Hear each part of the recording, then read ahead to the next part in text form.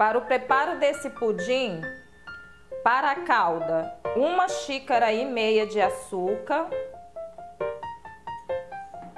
Vamos estar utilizando meia xícara de água fervendo e uma colher de chá de vinagre de álcool.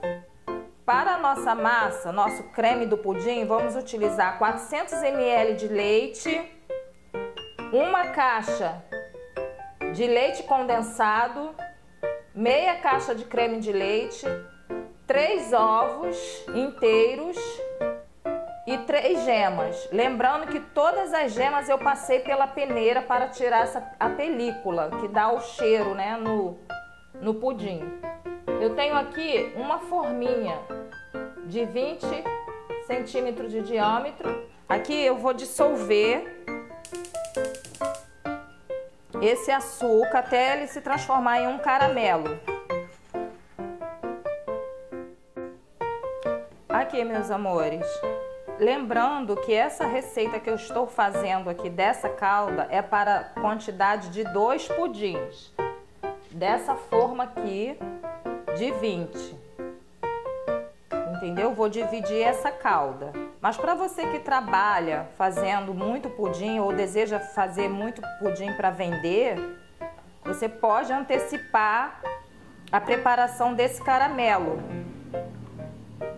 Como eu falei, você pode guardar na geladeira por até 90 dias, numa garrafinha bem esterilizada, de preferência uma garrafinha de vidro. Bom, aqui já chegou a tonalidade que eu quero. Vou acrescentar a água fervendo.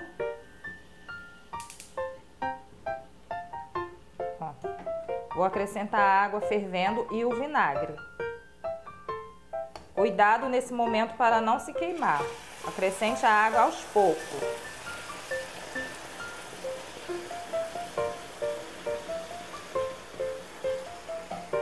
Agora eu vou aguardar, mexendo de vez em quando, é, até dissolver totalmente o açúcar. Nesse momento eu acrescento uma colherzinha de chá de vinagre de álcool.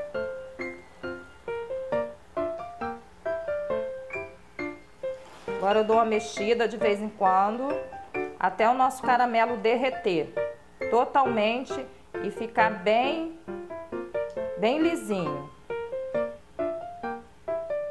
Aqui nós vamos estar preparando a massa do nosso pudim. Eu acrescento os ovos. Não se esqueça de passar todas as gemas pela peneira. Então acrescentei os ovos, mexo aqui um pouquinho, acrescento o leite condensado.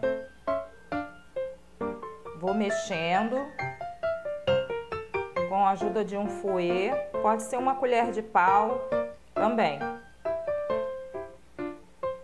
Acrescento aqui meia caixinha de creme de leite, que ajuda a dar cremosidade também no nosso pudim. Esse pudim é maravilhoso, uma delícia. Não tem quem não goste de pudim, né? Uma delícia mesmo. Compartilhe nosso vídeo, comente, deixe seu like. Agora, vou acrescentar o leite aos poucos.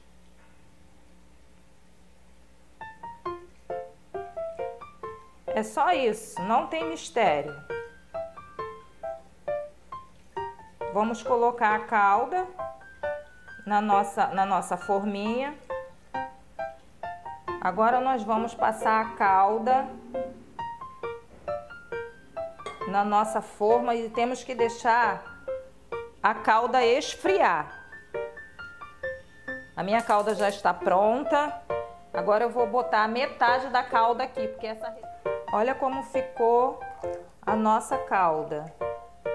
Não precisa você deixar ela engrossar demais, porque ela vai esfriar, vai ficar com a textura mais grossa. Então não precisa você deixá-la muito tempo no fogo. Esse é o ponto, olha. Então vamos deixar, vamos colocar aqui a metade. E vou deixar esfriar para depois banhar toda a lateral do da nossa forma de pudim.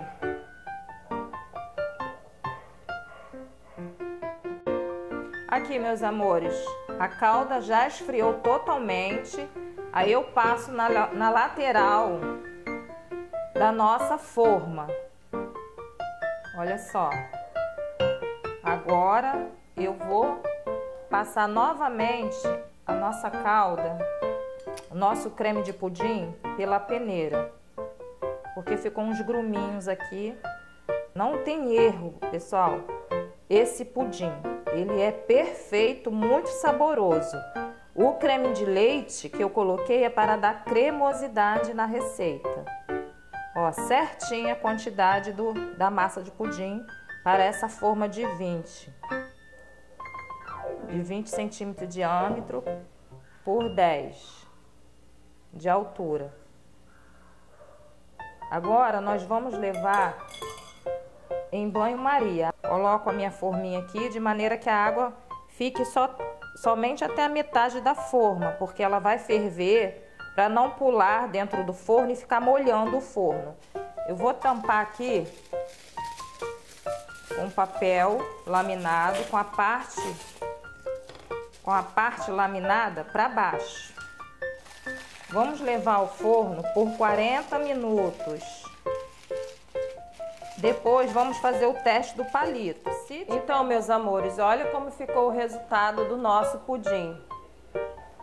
Levei para a geladeira, esse pudim foi feito ontem.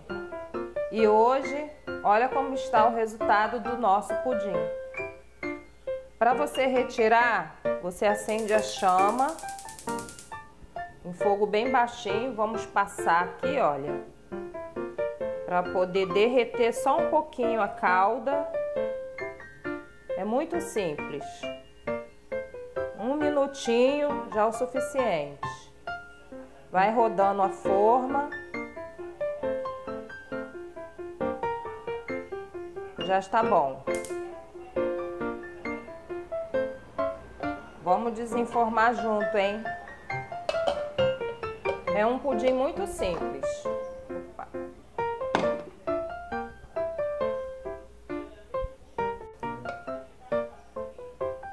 Fez uma sujeirinha aqui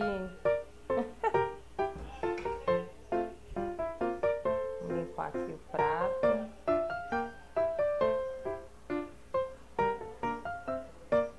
Tá vendo como é que ficou? Pudim muito bonito. E gostoso, né, pessoal? Pudim de leite de condensado não tem quem não ame pudim de leite condensado. Vamos cortar para ver como ficou por dentro.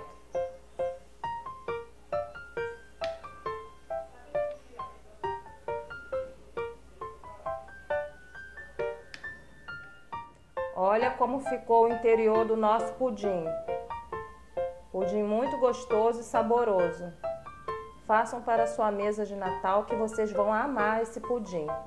Muito gostoso e cremoso.